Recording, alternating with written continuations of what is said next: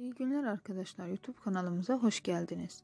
Bugün sizler için yeni video ile geldik. Videomuz Yemin dizisinin başrol oyuncusu olan Özge Yağız'a ait olacaktır.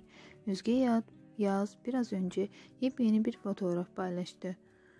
Dışarıda çekildiği fotoğrafı sizlere sunacağız. Umarım videomu beğenirsiniz. Beğenirseniz beğen butonuna basmayı unutmayın. Videomuzu sonuna kadar izlerseniz çok seviniriz. Desteğiniz bizim için çok önemli. Yemin dizisinin başrol oyuncularını seviyorsanız kanalımızı izleyip takipte kalmayı lütfen unutmayın. Şimdi o fotoğrafları sizlere sunuyoruz. Buyurun izleyin. Sizlere hoş izlemeler. Yeni videomuzda görüşürüz. Hoşçakalın. Kendinize iyi bakın. Sağlıkla kalın.